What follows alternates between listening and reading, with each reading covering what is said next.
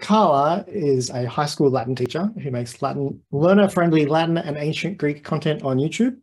Uh, she hopes to make comprehensible input in the ancient languages more accessible for more learners.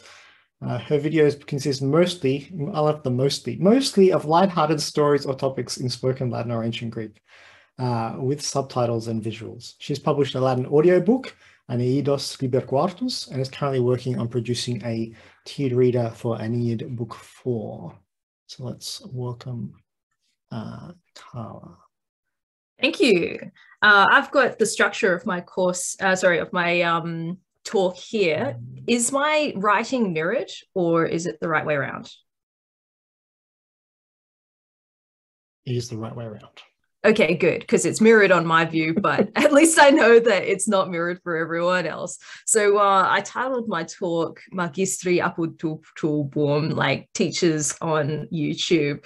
But really, I'm not so much going to be talking about this from the perspective of me being a content creator and being like rah rah content creation, more from the perspective of I'm a teacher and this is how much I really want more content to be out there.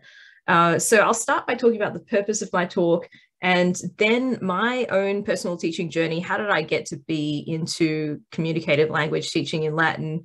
Then I'll talk about the challenges that I have faced and that other teachers I know have faced in switching from more grammar translation or reading method things to more communicative methods, and how the content, especially YouTube video content, helps alleviate the burdens and pressures of that translation uh, transition and uh, I'll finally end with a call to action about how we just really need more content to be created and what can we do to um, really help that process along because it is so beneficial to more people accessing Latin in a comprehensible, communicative way.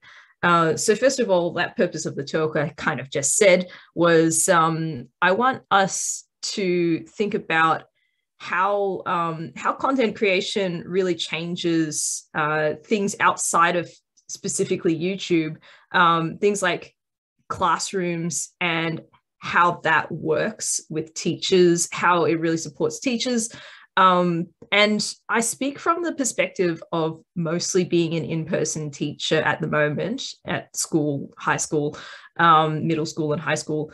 And um, yet I've also had some forced experience doing online teaching with, during Melbourne's extremely long lockdowns. So uh, I know a little bit about online teaching, and I may eventually return to that space at some point. And I hope that the lessons that I am learning in in-person teaching can be applied to online environments with some tweaks with some caveats that this is not the same social environment uh, so first of all how did i get to be where i am here um, I started teaching in 2017 in schools, although I had been tutoring since about 2012.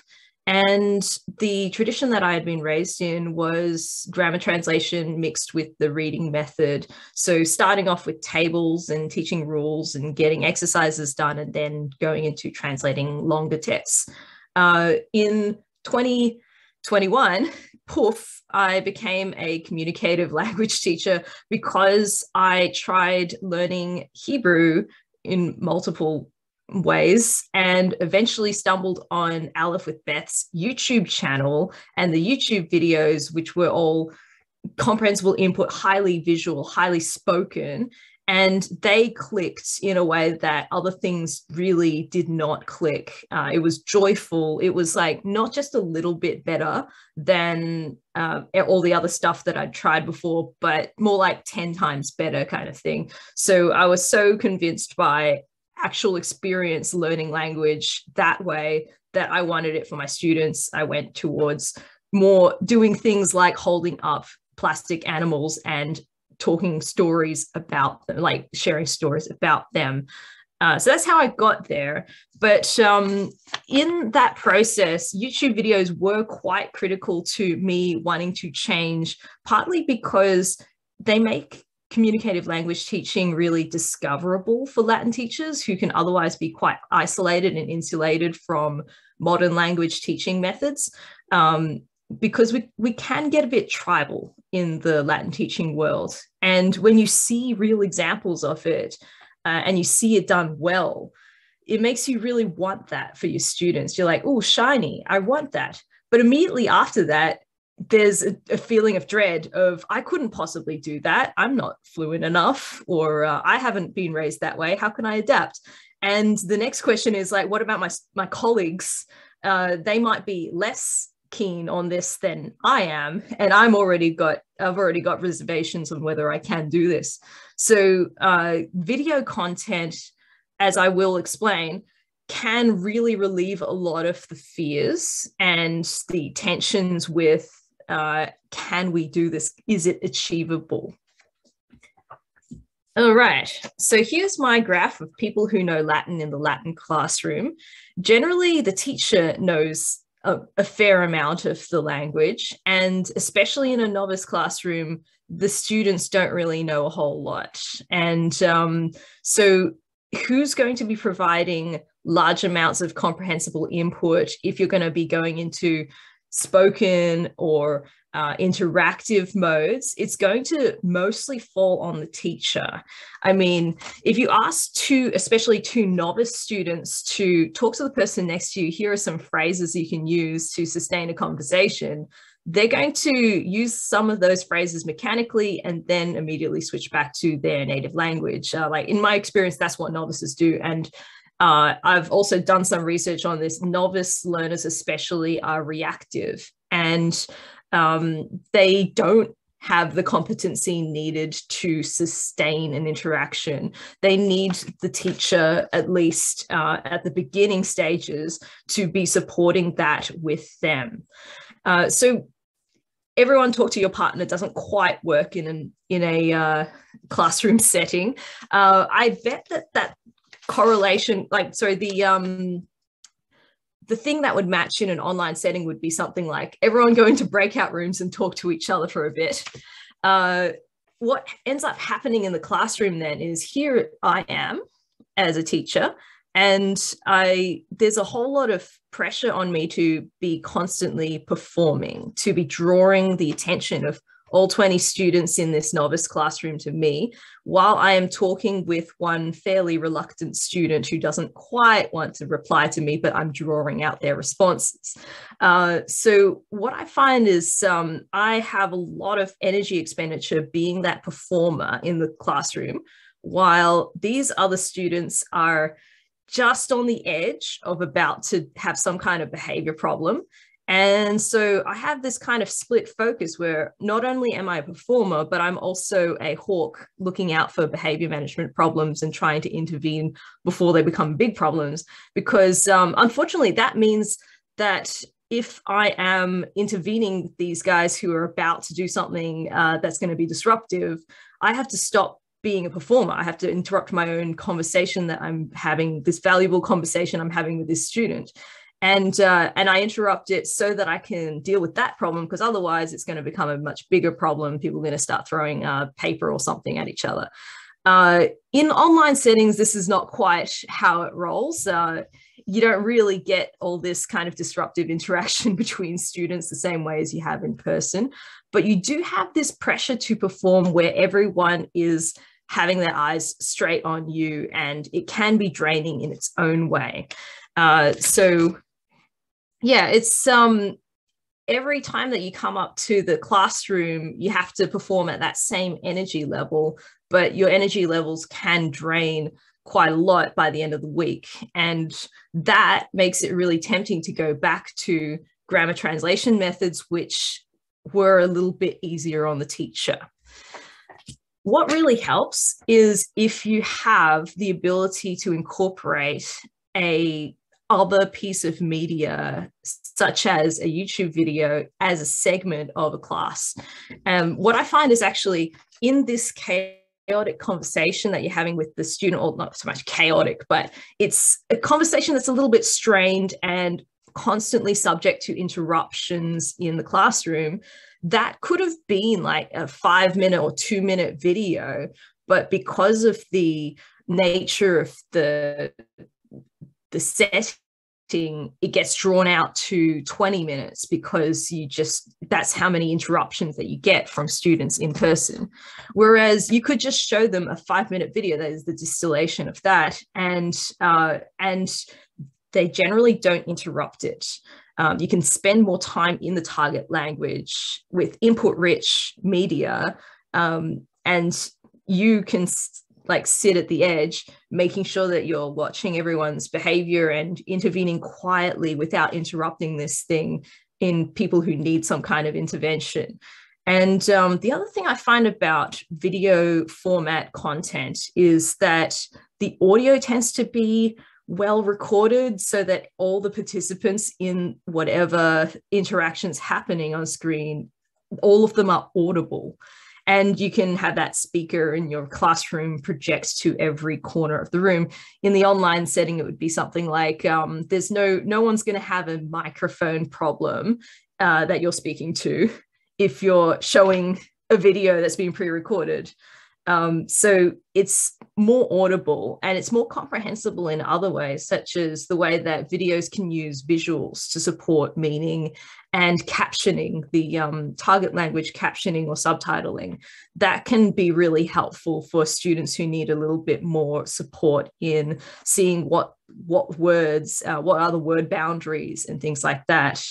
Um, so this tends to not be as interrupted as this but it can also serve as a kind of model. Like if you are about to have a conversation with students that involve certain target structures and you first show them a video modeling all of that language use, you can then follow it up with a conversation, a live in person, slightly more chaotic conversation with them and know that they have some idea already how this conversation could go and um, how it's being personalized to them. Uh, this really uh, helps me recharge because I'm no longer, I don't have that split focus between trying to be a performer at all times. I can have some breathing space, whether it be an online lesson or an in person lesson. It allows me to not be constantly draining throughout the lesson. And um, all of that is really, really beneficial for being able to stay the course and to change to these kind of methods.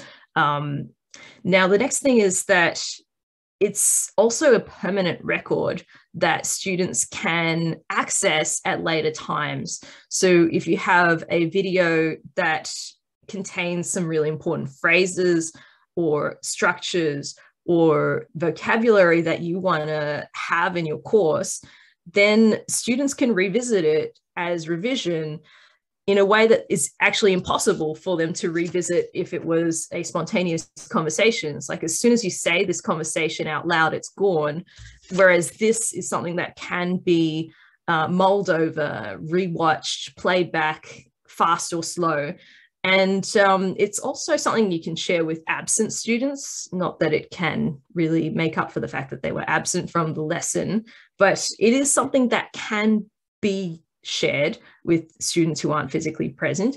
And it's also something that it's, it's a resource that stays there for the teacher next year as well. Because um, while having a conversation in the class is really valuable, it every time that you have that conversation, it takes the same amount of energy to perform. Whereas this only took energy once to make, and it's always there. It's becoming a larger library of resources that you as the teacher can pull from. So um, I'll draw back to the end of my talk as a teacher, I ex- I'm extremely grateful for the content that has been produced, and um, a lot of the content that I have made has been so that I can use it in classrooms, or so that my colleagues can use it in classrooms, and um, I am extremely excited about what possibilities could exist, but also there's this urgent hunger that I have for more really would like to have more content, more, especially at the novice level content. And um, part of the reason why novice level content is so important is because uh, those people who are in novice classrooms, the students are the weakest and need the most support, but also the teacher in the novice classroom is most likely to be maybe not the most senior teacher in the school. Um, they usually put the senior teachers on the senior classes and rec- there can be some problems with recruiting for the lower level classes, uh, sometimes resulting in the person teaching middle school Latin doesn't even know Latin kind of thing. So uh, novice level Latin is the area that needs the most support, uh, all the support we can give them, in my opinion. Uh, so my call is wouldn't be great if we had more novice level short form videos with lots of visuals that are exciting and nice for kids to watch. And uh, we can use it in online we can use it in, in person. It supports the transition to uh, away from grammar translation more towards communication and more towards treating the language as a language. Ways we can do that are we can be producing some ourselves. Like if you're a teacher and there's something that you always circle back to and make each year for, for the students, you perform it each year, can you video that? Um, a lot of the stuff that I make is something that I've already been doing in class, and now here's a video version of that. Also, if you're an advanced Latin speaker and you'd like to have just some fun and some try at making something, I would absolutely really welcome more content creators in this space because there's only really like one of me. There's only one Irene Regini. There's only one Scorpio Martianus Lugranieri. It's like, wouldn't it be awesome if there were more content creators in this space? And the second thing is let's support content creators, old and new ones. Um, let's be uh, doing it in practical ways. If it's financially wise and responsible for you, then uh, things like supporting creators on Patreon goes a long way to showing how much you value their time. And also, uh, if that's not your thing, liking, sharing, subscribing, all of that, and commenting sometimes the, the best pick me up at the end of the day is just seeing some of the YouTube comments that have been actually really encouraging on the stuff that I make. And I'm sure other content creators feel a similar way. So um, lots of love to content creators because you guys are alleviating this is the content here. Uh, you guys are alleviating a huge amount of pressure that is on teachers' shoulders when they switch to communicative methods. Um, they don't have to be the only source of input in the classroom. Uh, all these other things, novellas, uh, YouTube, other kinds of resources are a massive help when we can all work together in providing compelling, comprehensible input for our students. And that's the end of my talk.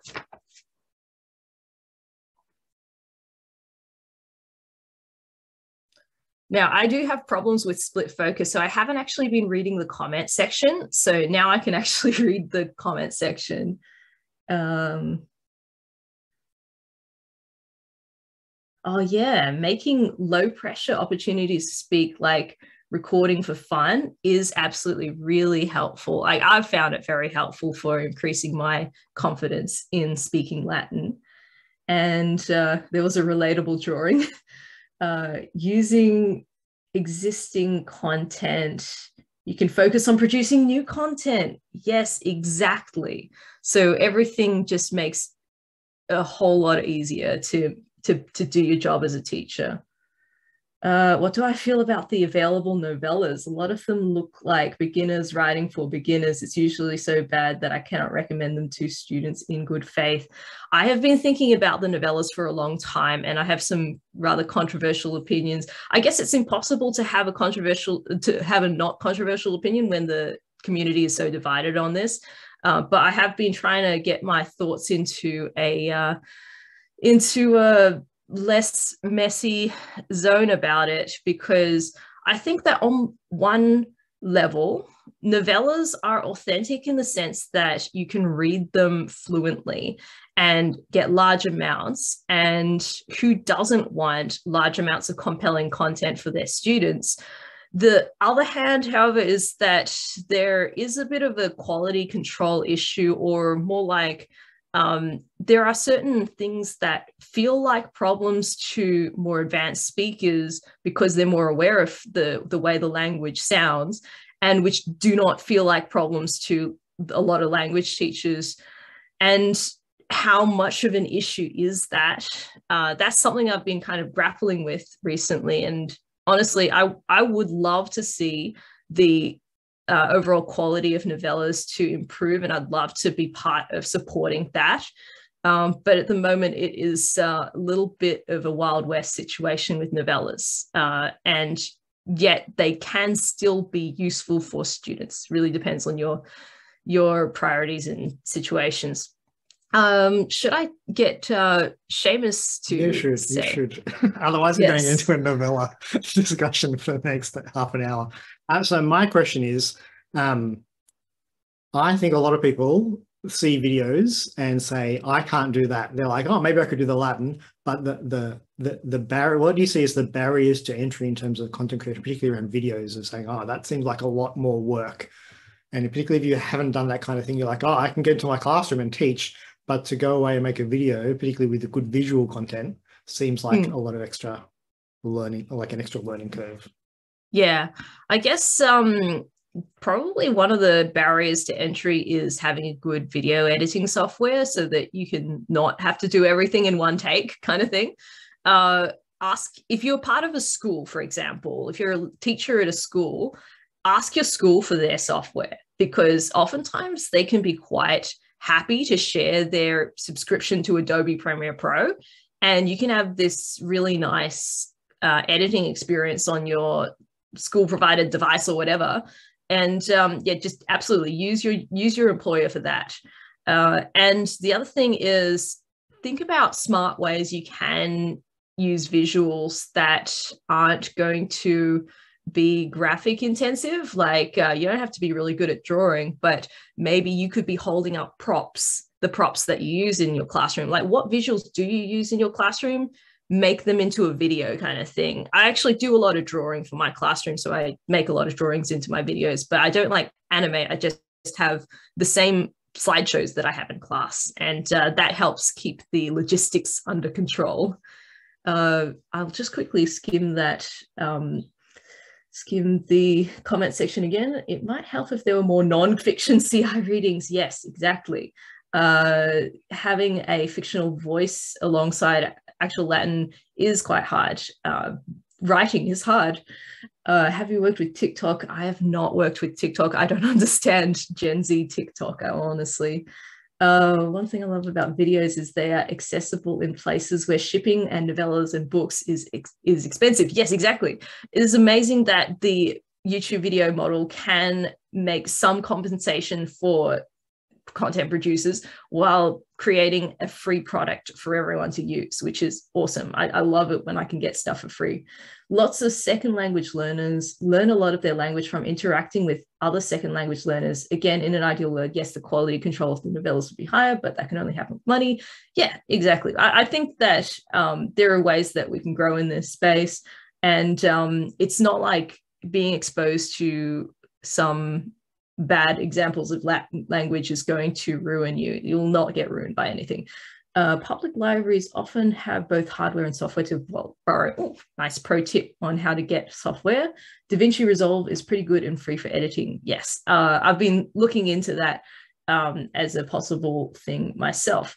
Do you know of anyone making training materials or do you yourself have any plans to make training materials that would help teachers transition away from GT. I do know of training materials. It's the um, the YouTube channel Latin Teacher Lab. Like that was an amazing resource for me to uh, use early in that transition. Just go Google Latin Teacher Lab. It has Justin Slocum Bailey talking about practical ways of doing it, even if you're not a fluent Latin speaker. And the other resource I highly recommend is Common Ground by Florencia Henshaw. That book has been a real game changer for me. And um, it kind of it's it's from not a Latin teacher perspective, which is quite valuable. Uh, and it's it's a different take. Like the way that um, Latin teachers are doing CI is slightly different from the way that uh, Florencia Henshaw is showing meaning focused form meaning connections, uh, teaching through uh, reading for things like main ideas and things like that. Like, I think that that's a really healthy perspective that we should be taking on board in our teaching. Uh, now, the other thing is the number of teachers using CI is relatively small, but I do think there are more who want to use it, just don't know where to start. And yeah, exactly. So having those models from YouTube videos from Justin Slocum Bailey and from the Common Ground book is really important.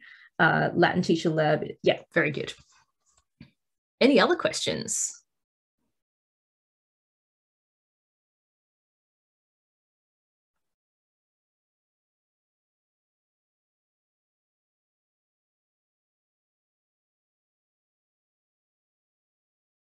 I have made several public presentations on the topic of how to get started transitioning, says Gregory, which are also available on YouTube. Yes, go and check out Gregory's YouTube.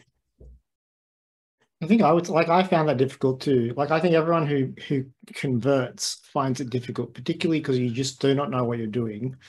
And I was not trained as a teacher.